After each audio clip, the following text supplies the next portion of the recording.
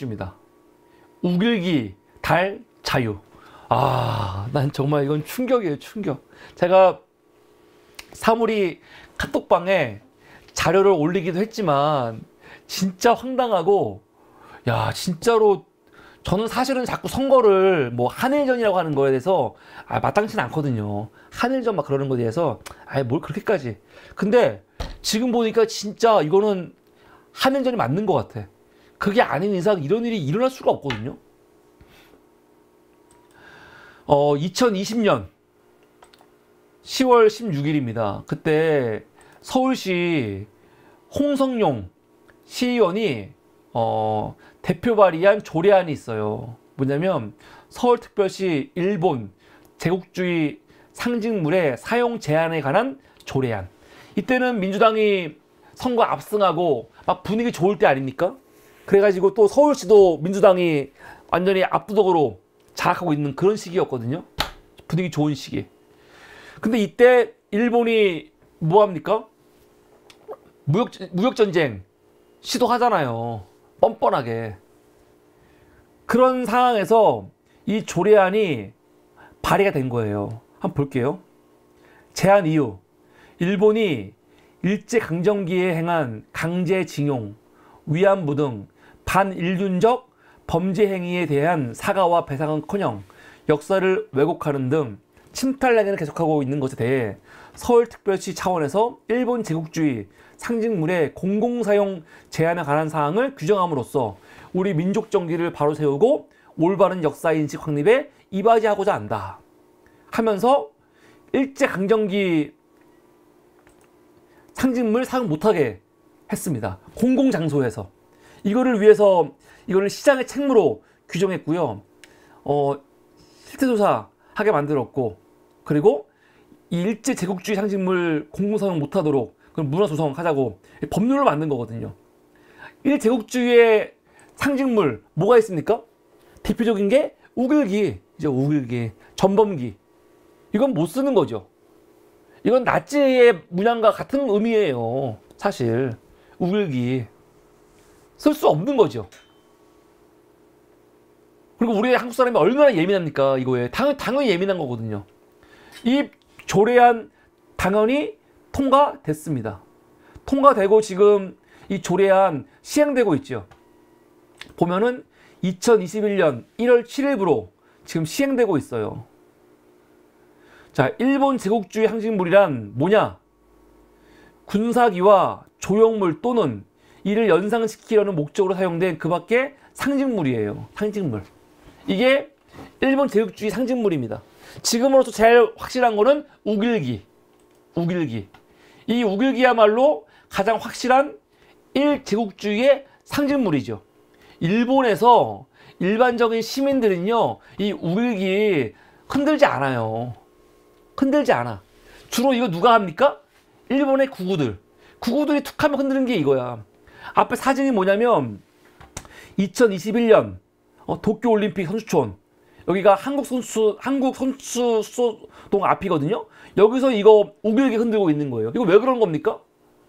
한국 사람들 자극시키려고 하는 거예요. 이거 그렇잖아. 만약에 이 우길기가 특별한 의미가 없다면 굳이 왜 한국 선수들 선수 앞에 와갖고 이 우길기를 흔들고 있습니까? 알고 있는 거야. 이 우길기가 한국 사람한테 어떤 의미인지 이 구구 새끼들도 알고 있는 거죠. 우리 입장에서는요, 이 우길기를 허용하면 안 되는 거죠. 허용할 수가 없어요, 이거는. 이거 무슨 표현의 자유가 아니에요. 말도 안 되는 거지. 당연히. 그래서 이거를 조례안으로 요번에 저번에 2020년에 통과시키고 있는 거예요. 조형물, 군사기.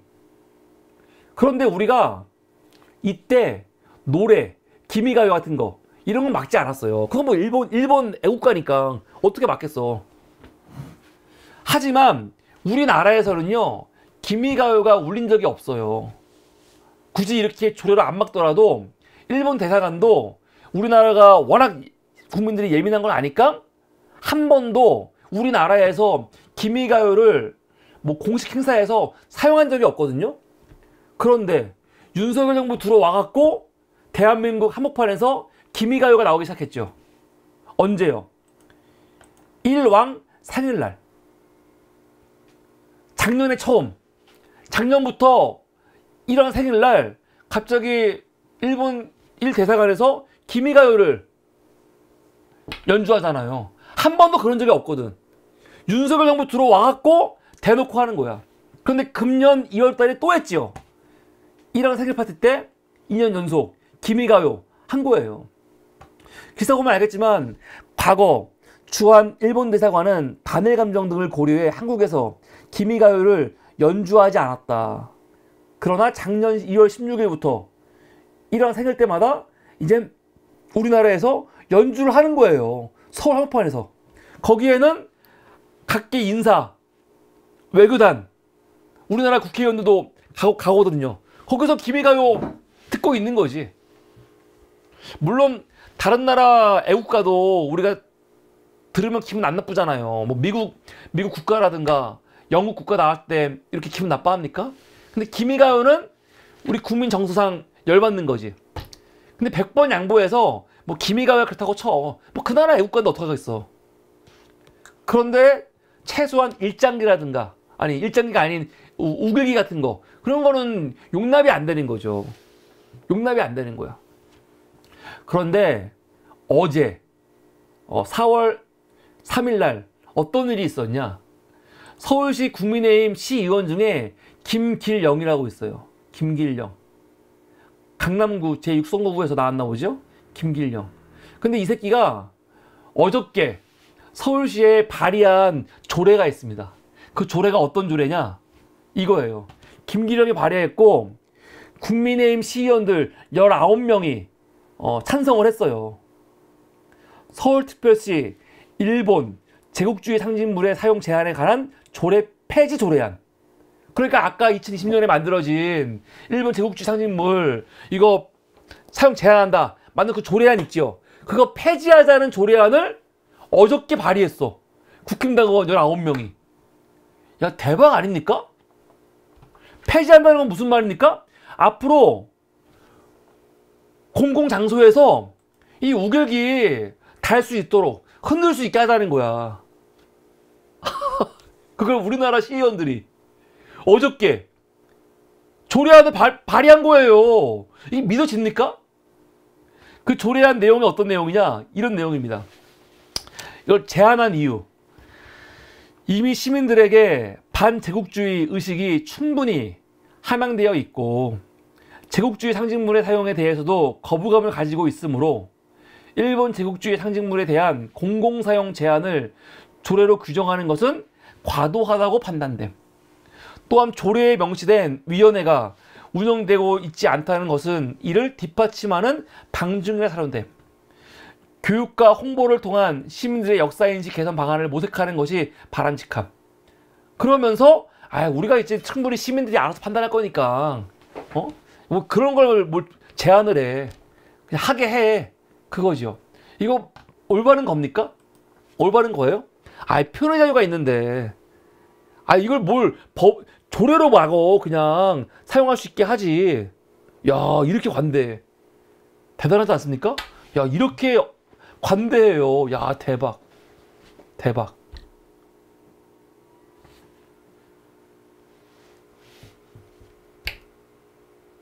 근데 이런 새끼들이 웃긴 건 뭔지 아세요? 만약에 서울 한복판에서 인공기 흔들면 어떻게 될까요? 인공기. 우리나라는 국가보안법이 있는 나라잖아요. 국가보안법. 어?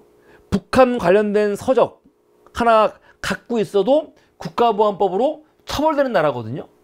사실 이거 진짜 너무 어이가 없는 거거든. 어? 근데 근데 국가보안법 폐지하자고 하면은 개 지랄 떠는 인간들이거든요. 얘네들이요. 그런데 우결기는 아 있으면 어때? 그까진 거 그까진 거 있, 있 다고 뭐 누가 뭐 제국주의 어, 거기에 막 휘둘려? 아니 우리나라에는 지금 학자라는 새끼들이 식민지 근대화론 얘기하면서 아 일제 시대가 좋았다. 뭐 그런 애들이 있는 나라예요 지금. 아니 근데 난 웃긴 게 우결기를 왜 허용하려고 하는 거야? 대한민국에서 왜, 왜 그러죠? 아니 이 뭡니까 독일에서 이건 맞지 나치 문양 있잖아요. 나치 문양을 막 흔들면서 다니는 건데 독일 같은 경우는 굉장히 관대한 나라거든요. 관대한 나라인데 독일에서 나치 상징물 어, 공공장소에서 사용할 수 있습니까? 그럼 매장돼요. 아니, 표현의 자유라는 게 무제한이 아닌 거야. 우리가 사실은 뭐라 할까, 어? 사회적 합의가 있는 건데 어떻게 우길기를 그냥 사용할 수 있게 하자고 이렇게 관대하게. 아 대박이에요. 이것들은 진짜 난 이상해. 더군다나 선거가 지금 며칠 안 남았잖아요. 이렇게 하면은 이게 선거에 도움이 된다고 생각하는 건가? 난 좀 이해가 안 돼요. 이게 그냥 꼭 진보가 아니고 일반 국민 상식에 굉장히 반하는 거거든요 근데 선거 기간에 이런 짓을 왜 할까? 선거 기간에 이렇게 대놓고 아 우리 우길기 사용할 수 있게 합시다 이런 얘기를 왜 하지? 이걸 왜 할까? 난 도무지 이해가 안 도무지 도무지 우리나라 구구들은요 너무 이상해요 진짜 어? 아 송목님께서 일본 왕 방안에 대비한다는 설이 있음 아 이랑이 왔을 때 우길기 흔들려고요?